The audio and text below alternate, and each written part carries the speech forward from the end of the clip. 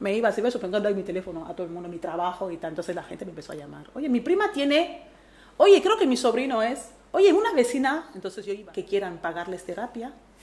Y aquí buscamos especialistas, no de la forma de ir a casa y darles un poquito de apoyo ahí también. O sea, llegas a casa y dices, mira, ser un tema como, uy, Dios mío, ¿qué es? A que decir, oye, pues escuché hablar de eso, voy a intentar, la persona que puede tener acceso a internet te mete... Muy buenas a todos familia, ¿qué tal estáis? Bienvenidos a un nuevo video. Fijaos dónde nos encontramos, nos encontramos en un escenario totalmente diferente. Hoy llevaremos a cabo un episodio súper interesante, un podcast donde el tema principal será el autismo. Y para ello no estaremos solos, tenemos aquí a mi lado a mi amiga Marga, que tenemos la suerte de que nos va a contar su testimonio, nos va a contar su experiencia personal, ya que tiene a un hijo autista. Y desde aquí le damos las gracias por darnos la oportunidad de que todos los que veamos este podcast nos llevamos a cabo una enseñanza, nos llevamos a cabo un aprendizaje y sobre todo la gente que lo vea, que esté pasando por lo mismo, tenga las instrucciones necesarias para poder llevarlo a cabo. Así que nada familia, suscríbete al canal, activa la campanita y sobre todo disfruta de este super episodio. Bueno familia, como os he prometido en la introducción, ya tenemos aquí a mi amiga Marga. Muchas gracias Marga. Nada, a ti por invitarme. Lo primero de todo, ¿qué tal estás? Estoy muy bien. estoy ¿Cómo te muy bien. sientes? Me siento bien, me siento cómoda, aunque no estoy acostumbrada a esto, pero siento como que es una charla en realidad, entonces lo tomo con mucha naturalidad. Bueno, lo primero de todo, darte las gracias por haber venido, por haber aceptado la invitación y sobre todo, pues, porque vas a compartir un testimonio que no todo el mundo ni todas las personas están preparadas o predispuestas a hacerlo y más ante cámaras. Por eso quiero darte las gracias una vez más.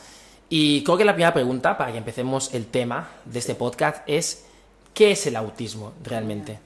Eh, El autismo normalmente eh, no es una enfermedad, porque normalmente tú estás enfermo y vas a buscar una solución, una pastilla para el dolor de cabeza, una operación si hay algo que se ha puesto mucho más grave y se te estripa y te quedas bien y recuperas.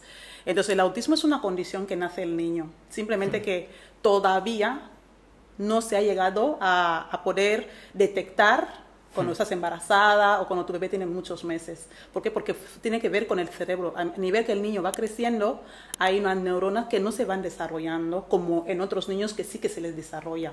Entonces, cuando llega a los dos, tres años, se le empieza a ver como que está empezando como a parar y empieza a ir como para atrás. ¿Por qué? Porque las neuronas que tienen que avanzar, tienen que crecer, se tienen que crecer, no se desarrollan en ellos. Entonces, ahí es cuando empieza el- el, el, el- lo que he explicado yo, el diagnóstico, ahí se empieza a mirar a los médicos, ¿por qué? Porque hay algo que no está yendo, entre comillas, bien con tu hijo. No se está desarrollando como los demás niños, como los niños normales, como se les llama.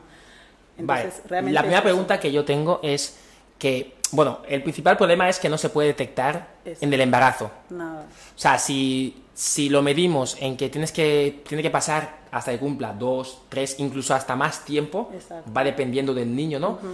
Em, claro, en tu caso real, ¿cómo surgió? En mi caso real, de hecho, yo tuve un embarazo muy bueno, buenísimo. No tuve ni náusea, no tuve nada, todo muy bien, porque fui a dar a luz en España. Eh, mi hijo nació muy bien, un niño enorme, tocho, lloró, el más llorón de todo esto. El- en la prueba del talón, todo perfecto. Cuatro meses iba haciendo lo mismo que hacen todos, comer, llorar, cagar, eh, gatear, todo.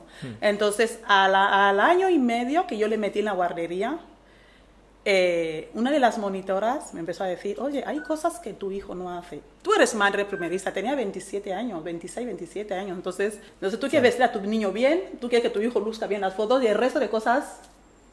Porque mío empezó a decir papá, mamá, le llamaba a sus tías, pero al un año y medio como que empezó a, a parar.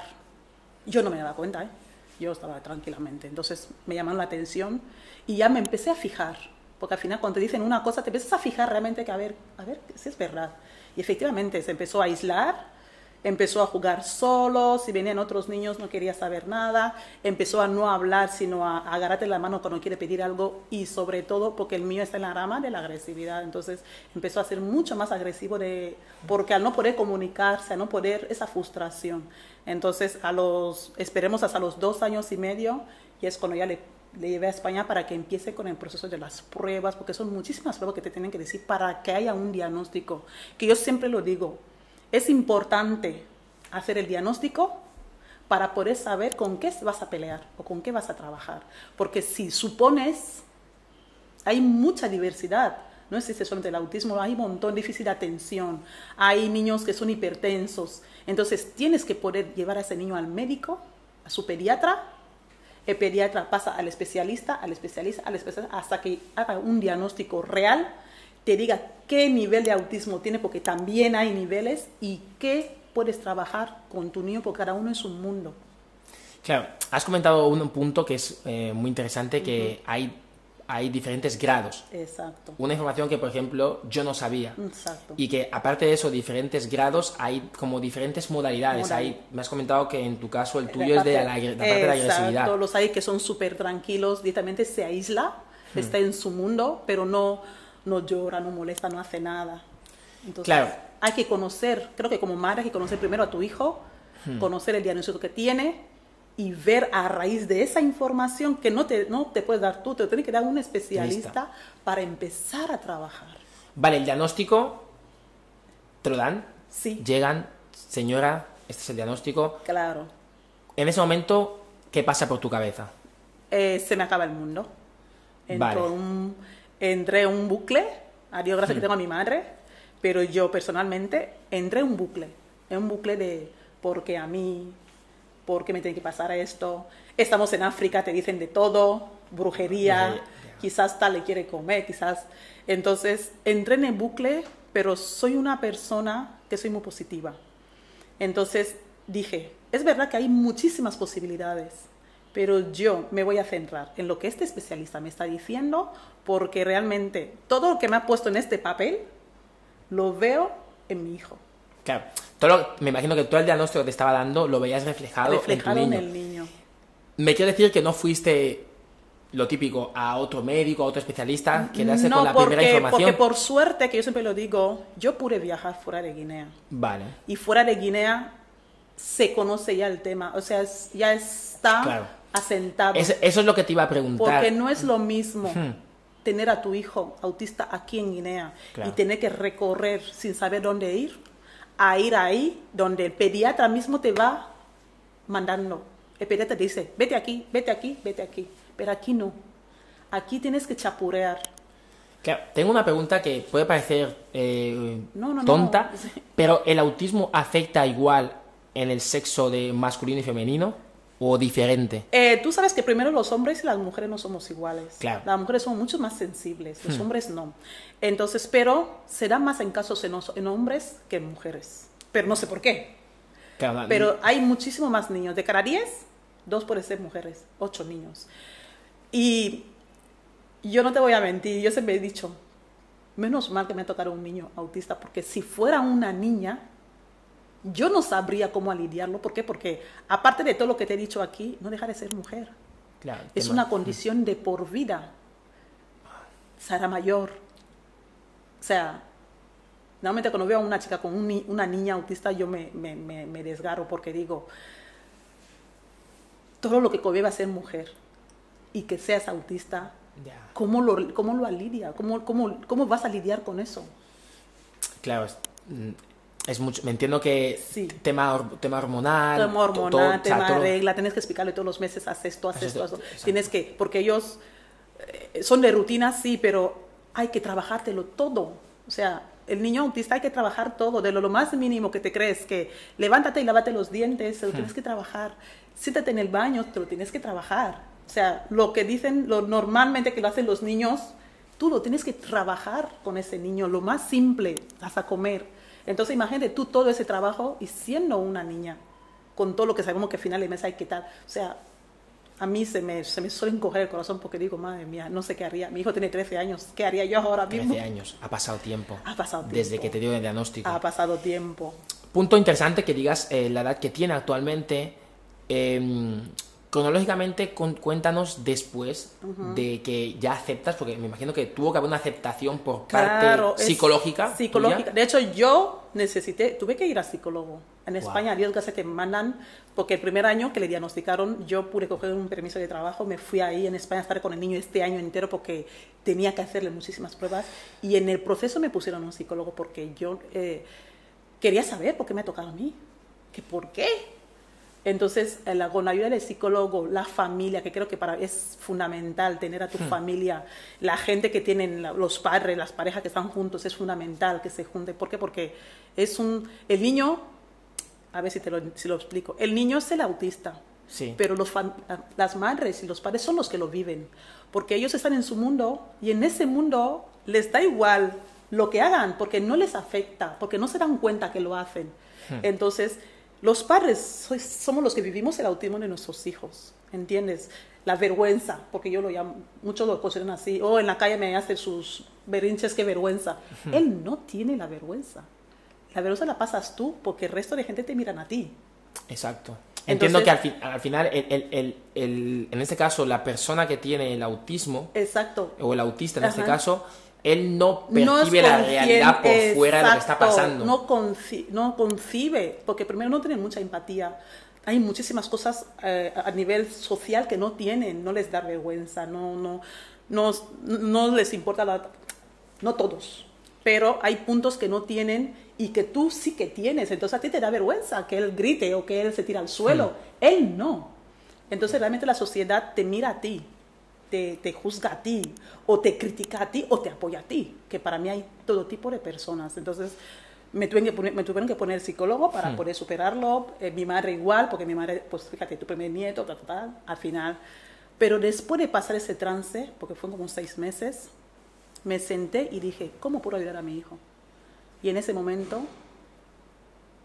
y te digo todavía de cuatro años, eso ya, yo vino once, Sí, nueve años. Entonces, me he dedicado en cuerpo y alma a trabajar con el niño, porque yo le vi potencial y dije, tengo la opción de intentar que con un poquito de suerte y mi trabajo, lo especializa la medicación, todo el conjunto, que pueda tener una posibilidad de tener una vida lo más normal posible. Entonces me centré en eso. Y a raíz de ahí nació el proyecto. Claro, ahora vamos allá al proyecto, que mucha gente tendrá dudas. Pasa el tiempo, me bueno, mucha gente estaría interesada, el niño al final se queda en España Sí, desarrollándose, en el colegio. Y yo pues eso tuve que venir a trabajar, me iba Vale. y venía. Mi Exacto. vida ha sido... Claro, tu vida al final, las vacaciones, era pasar el tiempo ser- con tu hijo para, es- evidentemente, ser la figura. Exacto. Claro, ¿cómo lidias que tu hijo se relacione que con otros niños? Eh, yo nerviosa. Porque él, de hecho, muchas veces, ahora tiene 13 años, si bajamos al patio y ve a otros niños jugar al fútbol, es una anécdota. Él entra a jugar al fútbol. No pregunta si puedo jugar al fútbol o si hay equipos o no. Él ve la pelota y, él sabe que tiene que darle la pelota. Entonces, al final, ¿qué pasa? Que el resto de niños es como, eh, pero tú, ¿por qué? Entonces tú tienes que ir a explicarles, lo siento mucho, es que él tal, por favor le puedes dejar que juegue. Pero no tienes que qué. explicárselo a, a, a los ellos, niños, a él, a él a, no. él, a él le explico, porque él más o menos tiene una rutina, a él le explico, no puedes entrar sin preguntar, o no puedes, pero es que en el momento que él va, profesa, sabes que ellos procesan como un poquito lento, es más, la edad em, cronológico de ellos no es la edad mental que tienen. Normalmente los niños autistas tienen una edad mucho más atrasada. El mío tiene 13 años y su mentalidad puede ser de 7 u 8 años, un poquito menos. Y de ahí entra también Entonces- el tema de lo- del grado. O sea, hay grados es más... mucho más leves que directamente no pueden hacer eso. El mío es funcional. Entonces, hay cosas que a Dios gracias podemos hacer casi de todo, pero hay que adelantarle, hay que anticiparle, hay que explicarle, hay que tener tu dosis de paciencia, porque no tienen, no tienen mucha paciencia. Tienes que, para que venga aquí tengo que estar dos días explicándole. Para poder viajar con él tengo que estar una semana explicándole. Para poder llevar a la piscina tengo que estar una semana. Entonces, hay que trabajar todo el rato, no tienes tiempo para descansar, pero al final se convierte en tu, ¿cómo lo digo? En tu día a día. Lo normalizas. Vale, una pregunta que me interesa mucho. Tu entorno de amistades... Porque nos has comentado que la familia es lo más importante. Sí. Tu entorno de amistades, ¿notaste rechazo? ¿Cambió? ¿Fue La verdad diferente? es que no. Yo realmente, yo siempre tengo, porque creo que por mi personalidad, soy una persona muy sociable y comunicadora, entonces hablo mucho.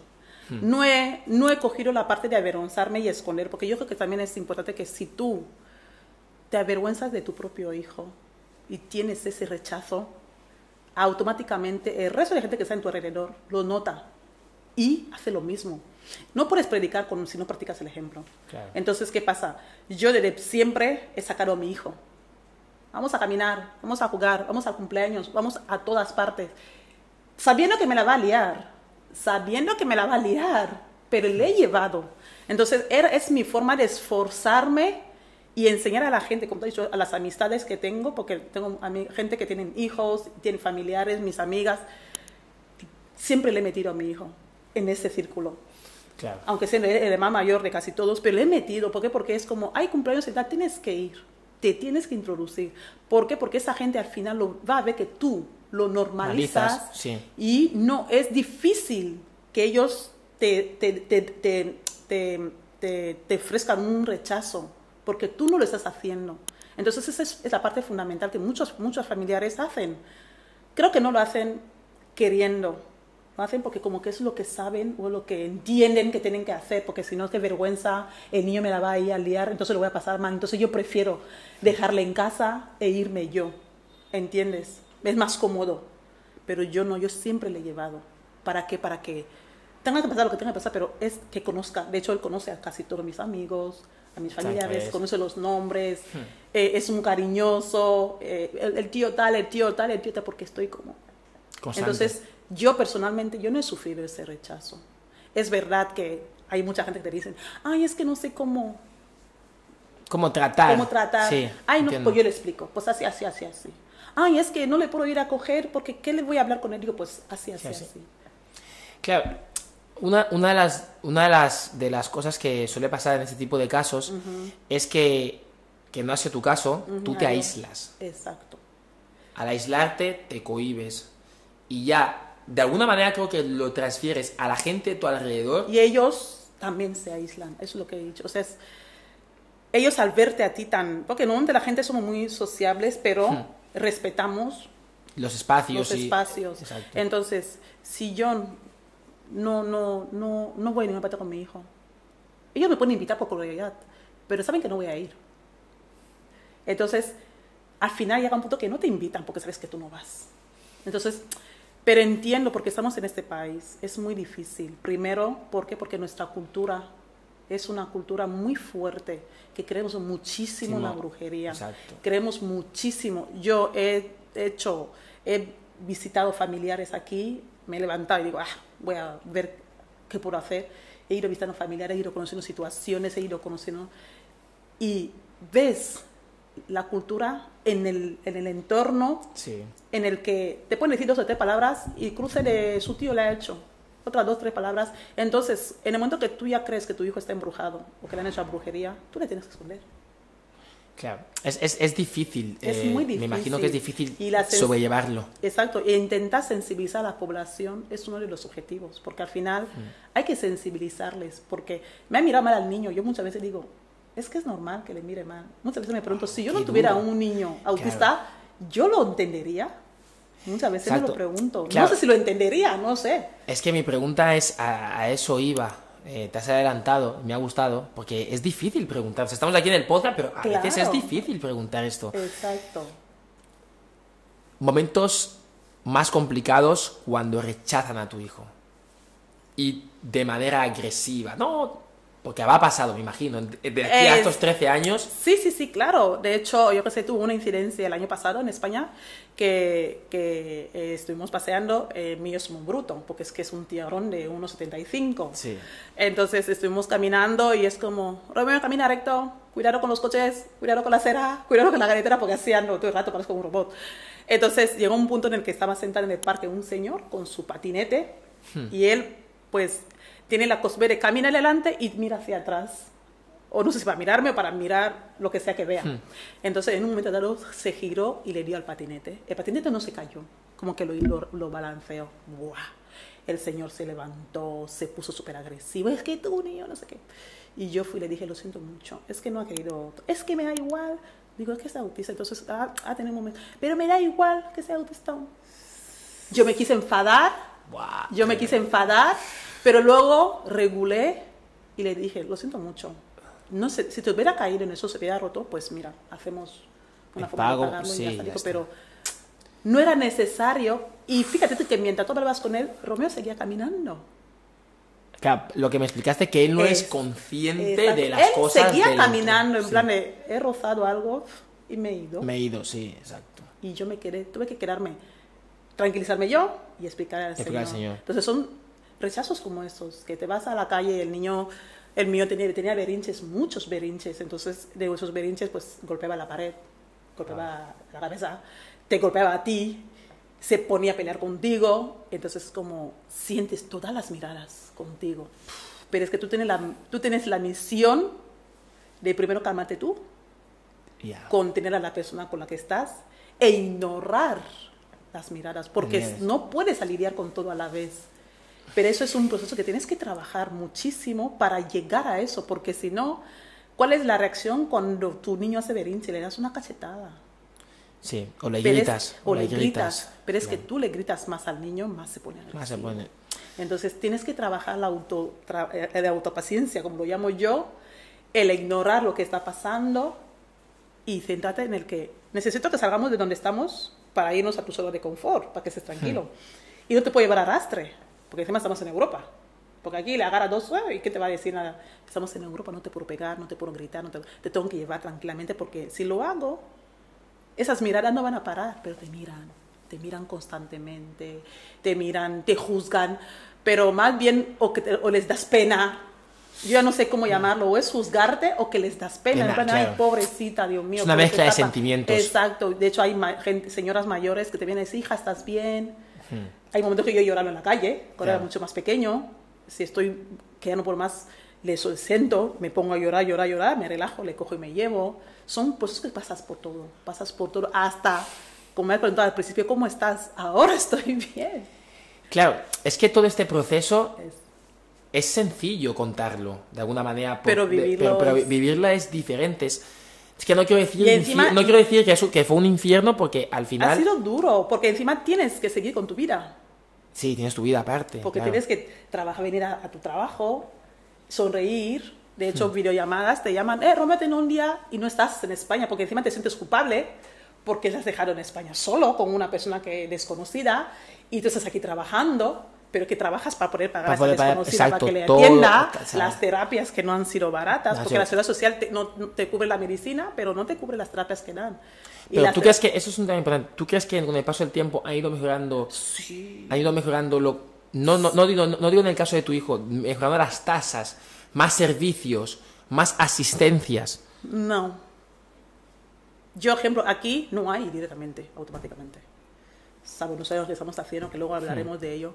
En España hay colegios públicos, como en España no se paga la educación públicamente. Entonces, pero las terapias que reciben los niños, las ayudas son escasas. Entonces son tan escasas que hay que solicitar todo por todo. O sea, automáticamente saben que el niño es autista, saben que necesita eso y debería ser para mí automático dar esa ayuda, porque saben de que lo necesita, pero hay que solicitarlo. Hay que, hay que pres- presentar expedientes. Ya saben la, tu situación, aún así es como con todo lo que yo ya estoy pasando. Me hacéis volver a tener que pasar para que me den un 100 euros al mes, para que el niño Bueno, pueda pagarle la terapia que le cuesta 45 minutos cada dos días a la semana y tienes que pagar casi 300 euros, Es caro, es carísimo, es caro. es muy caro. Y luego han salido muchísimas más terapias que si quieres estar en todo, tienes una media de 1.500 euros mes para gastar en las terapias de tu hijo. Luego tienes que comer, tienes que vestir, puedes.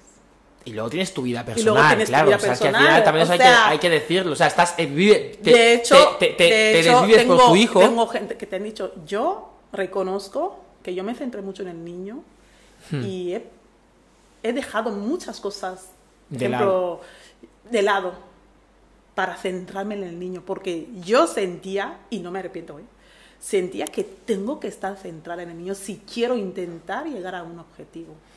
Yo desde aquí te digo que has, o sea, has hecho lo, lo correcto. O sea, no te puedes. Yo no, No, no, no, creo que nadie que nos para- esté viendo, para que haya- esté viendo tu Son- caso, se exacto. pueda arrepentir. Exacto. Pero- Bueno, eh, después de contarnos tu testimonio, que mucha gente que estará tras estas pantallas se sentirá identificado o identificada Ya. y te la agradecerán, porque muchas veces pasa que te quieres sentir parte de, pero no encuentras a las personas Exacto. adecuadas. Eh, antes de pasar y hablar sobre el proyecto en Guinea, ¿qué recomendaciones le darías a esos padres a esas madres que a día de hoy les hayan dado el diagnóstico como te pasó a ti hace 13 años? Yo siempre recomiendo lo mismo. Yo siempre recomiendo lo mismo. Primero, como padres, quieres a tus, quieres a tus hijos. Hmm. Tenga la condición que tenga. Te haga caso o no. Quieres a tus hijos. Entonces, es un, es un hincapié con tener un diagnóstico diferente. Un diagnóstico que no conoce, sobre todo a, yo, a la población de Guinea. Sí. Entonces, tienes que querer a tu hijo como sea. E intentar, por más difícil que sea, ver qué es lo que tiene y trabajar para ayudarle. E intentarlo, ¿eh? Yo siempre lo he dicho, Hmm. hay que intentarlo, porque si no lo intentas, el fracaso ya lo tenemos, o la victoria, pero tienes que intentar y conseguir ese trabajo. Entonces, no te avergüences de tu hijo. Porque si tú te avergüenzas de tu hijo, estás mandando Un mensaje. a la población de que Sí. avergonzaros de mi hijo. Exacto. estoy de No acuerdo, te puedes de avergonzar de tu hijo porque ellos, por más autistas que sea, son niños. Trabajas en su autoestima, trabajas en su independencia, trabajas en su seguridad y trabajas en su amor. Entonces, si tú ya te avergüenzas, todas esas cosas que hemos hablado no se lo vas a dar y no lo van a tener. Entonces, no te puedes avergonzar. Es que no puedes porque solo te tiene a ti. Es esa persona te tiene a ti como cualquiera de tus hijos. Entonces, muchos, hay familias que he conocido que tienen más hijos. Entonces, yo creo que es mucho más complicado cuando tienes más hijos y tienes un niño con esa condición. ¿Por qué? Porque tienes que trabajar con los demás niños y dedicar tiempo a este niño.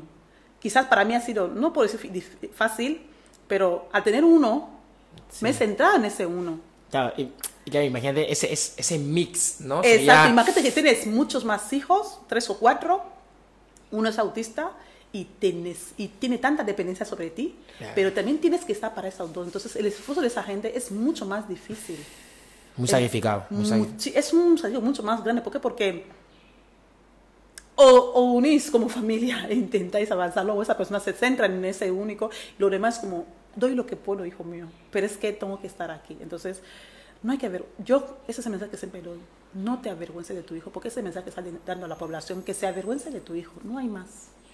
Qué bueno, de verdad, te van a agradecer muchísimo. Eso es Proyecto del autismo en Guinea Ecuatorial. Exacto. Coméntanos un poquito cómo está funcionando, cómo surgió, cuál fue la iniciativa, Eh, sí. cuántas personas sois ahora mismo, un poquito para que la gente que no Eh, sepan de ello nuestro lo puedan. proyecto se llama Hablemos de Autismo en Guinea, ¿vale? Vale. Proyecto Romy, en honor a mi hijo.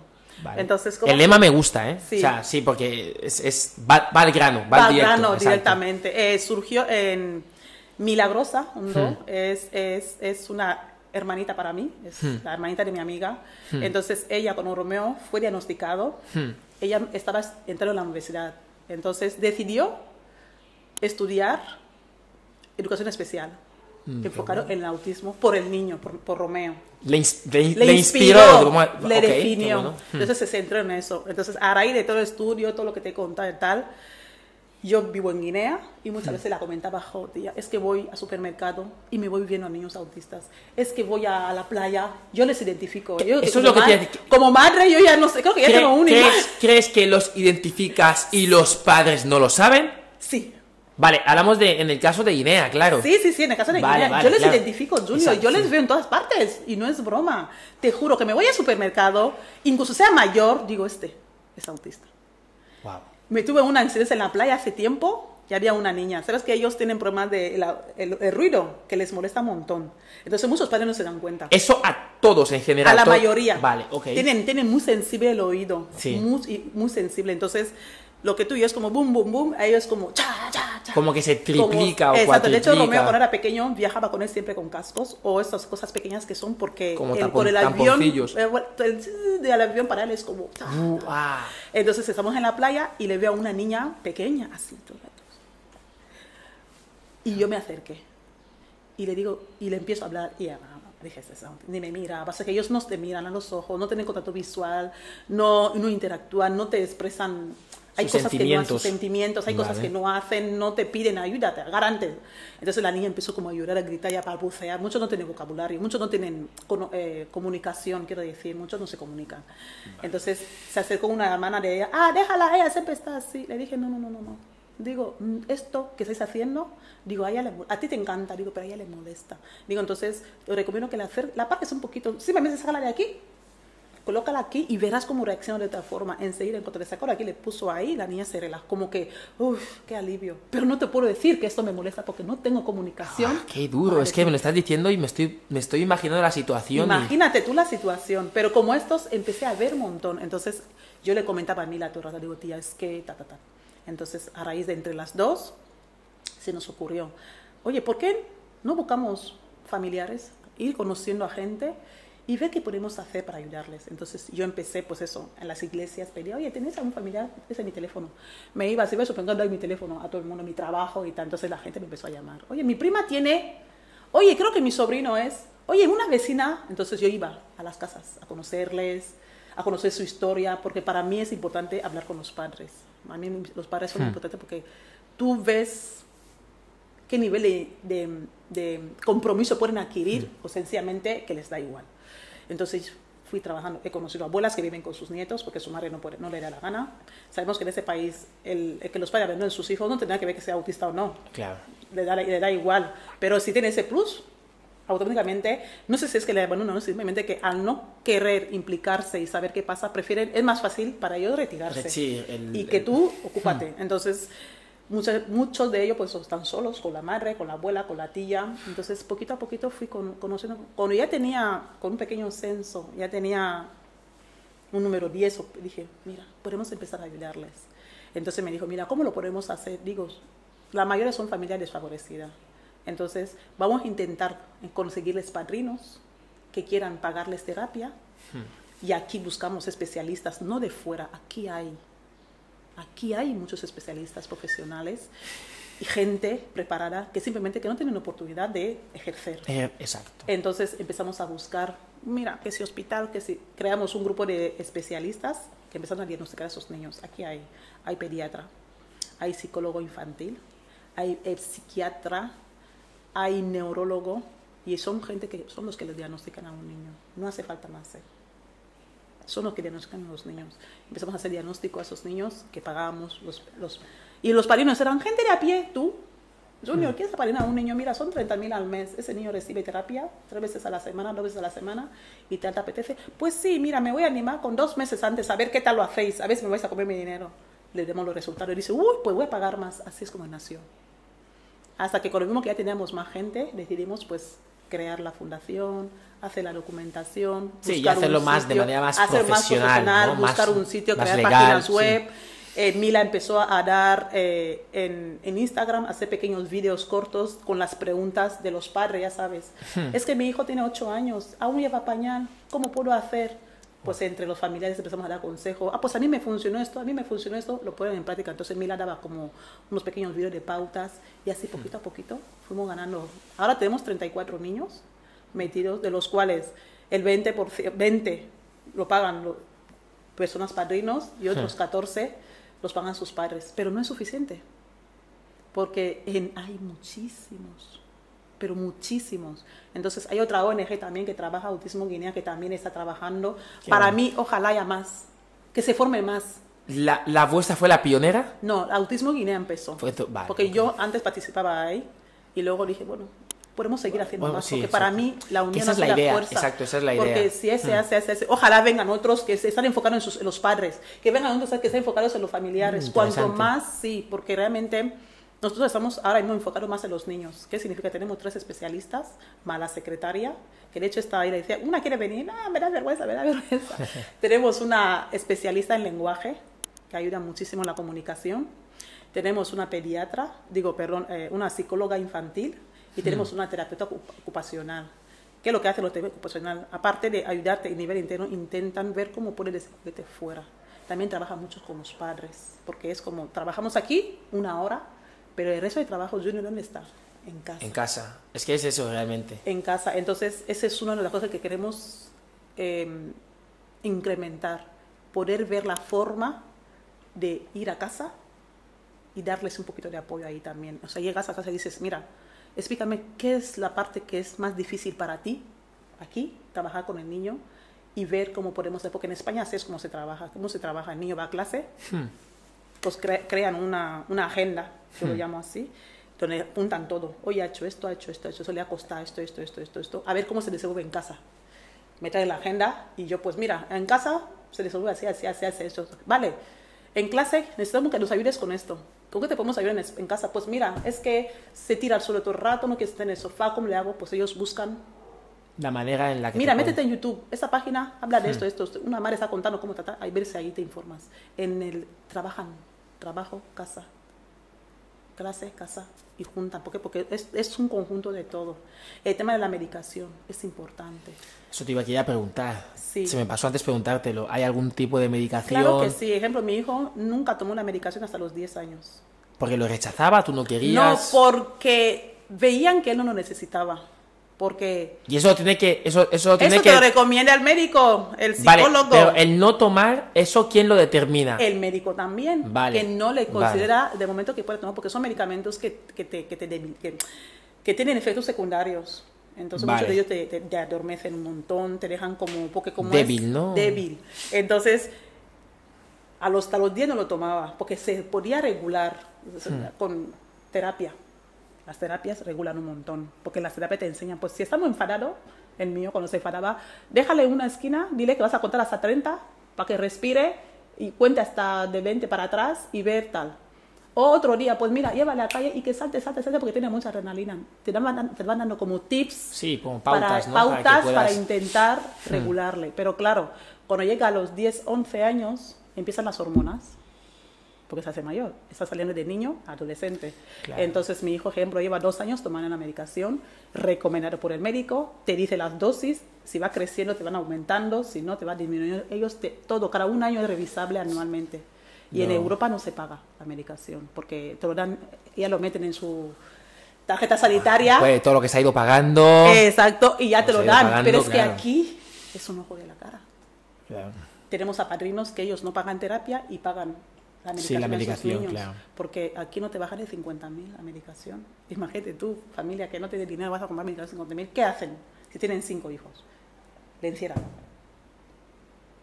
Porque es como, ah, bien, vamos a gastar 50.000 ese todo el día, si luego no se entera, ese 50.000 lo invierto en mis, lo que pueden comer y que avancen, que vayan a clase. Es normal. ¿No está bien? Es, es, es normal, es supervivencia. Su- Yo le llamo Eso, supervivencia. Exacto. Claro. Entonces, ahí- así es como surgió. eh, de hecho, ahora mismo es lo que tenemos. Tenemos la ONG, tenemos página web, tenemos a gente que trabaja con nosotros. Estábamos trabajando en el tema de la legalización, pues ya lo tenemos.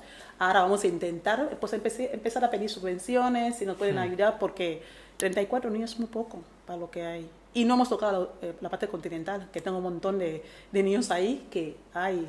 Hemos trabajado con eh, RMI, que es una, una ONG en, en Bata, pues, claro, porque tiene niños, niños Claro, huérfanos. hay, hay que tener en cuenta que también Bata el es más grande que Malabo, mucho más. Entonces claro. lo que hemos hecho cuando vamos ahí, conocemos un poquito a esos niños, le damos comida, utensilios, ropa. Hemos organizado aquí mercadillos solidarios, hemos Qué hecho bueno, conciertos bueno. benéficos para recaudar fondos. Qué- sí, sí, yo lo he hemos hecho cuando, sí. juegos con los niños, estamos entretener. De hecho, yo me voy a Bata el fin de semana, cuando vuelva quiero hacer una reunión con los padres de los niños Hmm. y que tengan a los niños, crear un... Porque como no les sacan, no les hacen ocio.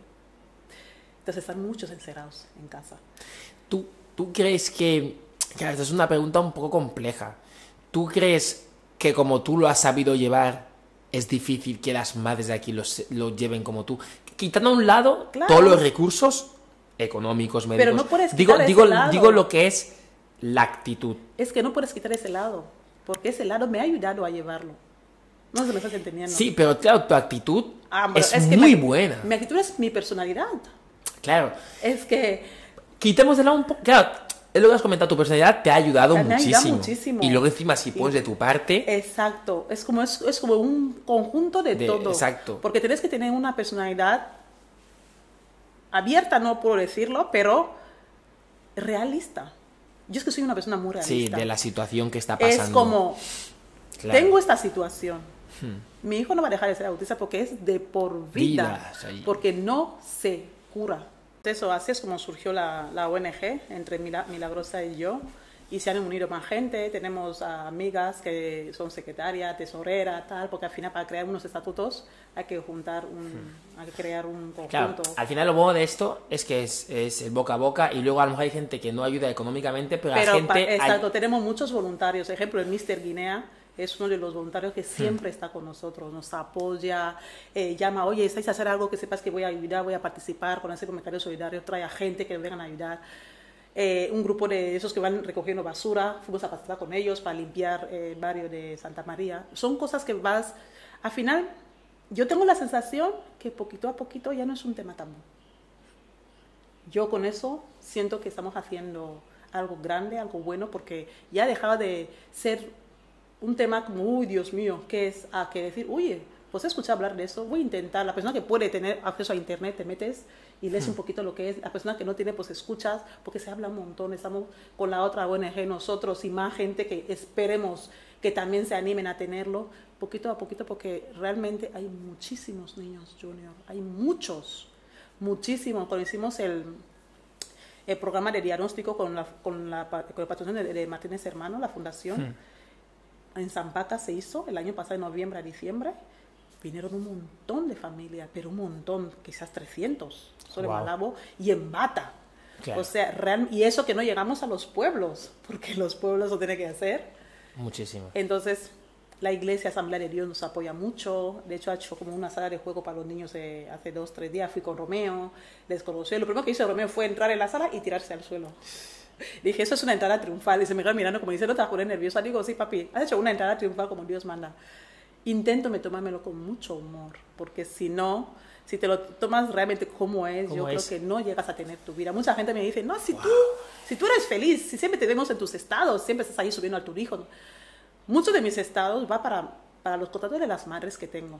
Que vean que puedes que se puede, se puede salir adelante, sí. No es fácil, pero, puedes hacerlo, puedes llevarle a pasear, puedes llevarle a comer, puedes llevarle a la playa, puedes llevarle al paseo marítimo que es gratuito, puedes caminar con él, puedes hacer footing con él, puedes viajar con él.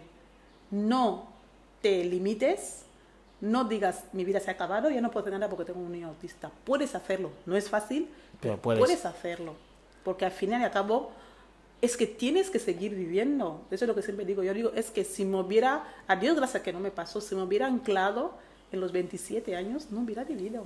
Claro. Me hubiera quedado ahí. Mentalmente te quedas ahí. Y, y no me hubiera favorecido ni a mí ni al niño. Claro, mío.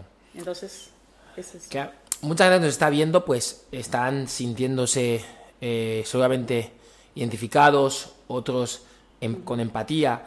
Y me gustaría que eh, comentaras eh, para poder apadrinar, para poder ayudar, que digas eh, cómo lo pueden hacer. Exacto. desde, cualquier, desde cualquier parte del mundo. Parte del mundo, sí. tenemos una, una cuenta en Instagram sí. que se llama Hablemos. Sí, la vamos a, vamos a colocar, sí. la ponemos tanto en este clip y en la descripción del Hablemos video. de autismo, proyecto Romy, en el cual pueden escribir, lo lleva una, nuestra secretaria. Tenemos un número de teléfono de contacto, no sé si me lo puedes pasar el móvil, puedo mirar. Sí, claro. Porfa, tengo el móvil ahí. Sí. Así también se lo damos para quien hmm. quiera llamar, porque toda la información de aparecer a un niño es muy fácil. Tenemos muchísimos niños, muchísimas familias que no tienen dinero y te vienen y dicen, tengo un niño pero no tengo dinero. Digo, vale, vamos a buscarte un padrino. E intentamos conseguir. Entonces simplemente son 30 mil al mes y esos 30 hmm. mil se usan 20 mil para pagar a los especialistas cada uno, porque tenemos unos salarios para cada uno de ellos que son muy bajos, que yo hmm. creo que realmente lo hacen porque quieren. Sí. Eh, y como, como, has comentado antes, voluntariado. exacto, los otros 10.000 es para comprar material, porque claro, esos niños necesitan mucho material y la mayoría de ellos sale de nuestros bolsillos, porque son muchas cosas que hay que trabajar con ellos, muchos pictogramas, muchos papeles, muchos folios, muchos pinturas, muchísimas cosas. Mi Malta cuando he llegado era la mitad. Entonces hay que comprar todas esas cosas. Y luego, entonces son 30 mil al mes que el nos puede pagar y tiene toda la libertad de poder tener información del hijo que está padrinando, de poder conocer a ese niño, de poder conocer a su familia, si su familia está contento con los porque no queremos, somos transparentes, no queremos esconder nada cuando un padrino trae su dinero, le decimos, este dinero va a ir para esto, para esto y para eso. Cuando hicimos las donaciones, con las donaciones iguales, llamamos, le mandamos a que lo vean, sí. Otra cosa, he, ido poniendo en los supermercados, bueno, he puesto en AJM, hmm. Voy a ir mañana a GTC para ir dejando unas huchas que nos han, nos han ido permitiendo dejarlos ahí para pequeña donación. Vas a comprarte eso para un 100 francos, sí. lo pones ahí. De 100 en 100 se llega muy lejos. que siempre están con nosotros apoyando. He puesto en Nea Boutique, he puesto en Belimás y voy a ir poniendo en más sitios. Entonces, cualquiera que vea una hucha preciosa, pequeñita, que ponga, hablemos de autismo en Guinea, que ponga un 500 ahí, que ponga un 100, porque ese dinero cuenta. Cuenta para, para, para porque la mayoría, te digo, son familias que no tienen dinero que para pagar taxi, traerle ya les, muchas veces les cuesta. Entonces, sé que no es de por vida, pero por lo menos les ayudamos a que más o menos empiecen con el tratamiento. Como iba a dar el número de teléfono, no me lo sé de memoria. Sí, lo puedes dar y así la gente lo puede apuntar. nada más lo estoy diciendo, va a decir Marga el número. El número es el 555-485-369. Es el número de teléfono del proyecto. Podéis llamar podéis apoyar, podéis apadrinar, podéis ser voluntarios, cualquier ayuda nos viene muy bien, porque no todo el mundo va a dar dinero, pero oye, ¿puedo ir un día a ayudaros con los niños? Porque sí, pues sí, mira, han venido cantantes, Katrina Moed nos apoya un montón, ah, siempre viene a hacer algo, la cual es sumamente agradecida. La princesa Demetria. Es una, es una, es una buena niña, sí, claro, desde aquí a La princesa Demetria también suele venir. Ángel Glamour ha participado también con nosotros en lo que hicimos, tanto, muchas veces habla mucho con Mila para ver en qué podemos ayudar yo creo que poquito a poquito la gente nos van conociendo, nos van, porque también ven que estamos trabajando, porque Mila no para, porque ella está centrada en la parte profesional, en la parte de los Yo soy más bien madre. Yo me centro más en la parte de lo, conocer cómo están los niños y tener mucha más relación con las madres, porque siento que mi experiencia le sirve más a las madres que a los especialistas. Entonces, la parte especialista, la parte de qué hay que hacer, eh, que si que las estudiar, no sé qué, todas esas cosas, yo no me lo sé, se ocupa Mila de esa parte. Y yo me ocupo de la parte de familiar. Sí, la parte, familiar, de, la, parte, del día a día. La parte del día a día, porque mi pequeña experiencia puede ayudar en esa parte. Hablo mucho con las madres, les digo cualquier cosa que me queráis llamar. Hay gente que no me conoce, Maga, te pone teléfono una prima mía que tiene un niño así, digo, no le conozco de nada, ni siquiera le conozco físicamente. Que es que no es conocer, pero es le hablas la y causa. es como, exacto, creo que hay que juntarse, hay que... No es lo mismo que yo te cuente una experiencia tal a que la persona que lo vive y yo lo vivo podamos empatizar un poquito hmm. más y a darnos apoyo sobre todo porque necesitan muchísimo, muchísimo, muchísimo apoyo moral. No lo reconocen, porque sabes que aquí no está reconocido eso, pero necesitan muchísimo apoyo moral, ese cariño, ese te haga la mano, ese que sepas que estoy ese aquí, tú puedes, ese tú puedes es muy básico y muy necesario. Exacto. Así que bueno, Marga, muchas gracias nuevamente por transmitir tu testimonio, que yo sé que no es fácil, y repito, no es fácil aquí ante las cámaras poder abrirte. Y nada, y darte también las gracias doble por el trabajo que estás haciendo con el autismo. Yo desde aquí eh, voy a ayudar, ¿vale? Eh, es importante. Muchas gracias. Es muy importante, es muy importante concienciarnos que Vivimos en un país pequeño. Mucho. En el que tenemos una situación que con un poquito lo podemos arreglar y yo quiero ser parte de ello porque mm, si no lo hacemos nosotros, ¿quién lo va a hacer? Nadie, absolutamente nadie y de verdad. Muchas gracias a ti por invitarme y dejar que me ponga aquí a hablar. Espero que, no te haya, no, te haya dado mucha lata porque al final cuando uno habla con algo que es algo personal, pues le van saliendo las palabras. No me echo a llorar porque no, no soy mucho llorar por teléfono, por, por las cámaras, pero realmente eh, es difícil, es muy difícil, pero poquito a poquito se puede, se puede conseguir. Esos niños no dejan de ser niños en realidad, simplemente que quieren que alguien les quiera y que se lo demuestre y ya está. Y nosotros podemos hacerlo a nivel social, como una sociedad. Así que gracias por, por, por haberme invitado. Bueno familia, hasta aquí la super conversación que hemos tenido con nuestra amiga Marga. Una vez más, darle las gracias por habernos permitido escuchar su testimonio, su experiencia personal y sobre todo darle las gracias a la audiencia por haber prestado la máxima atención sobre un tema que yo sé que no es nada fácil, como hemos estado hablando aquí en el podcast, sobre todo venir aquí, ¿no? Y expresarse, abrirse de corazón, abrirse en cuanto a sentimientos. Y desde aquí, ya sabéis, tenéis aquí abajo los números, podéis colaborar como queráis, tanto económicamente, de manera material, como podáis. Siempre os voy a dar las gracias. Familia, como digo, suscríbete al canal, activa la campanita, comparte este video. En esta ocasión sí que, que sea por un motivo, que no sea por suscriptores, que sea por un movimiento por el cual es ayuda. Y como siempre, nos vemos próximamente en un siguiente video.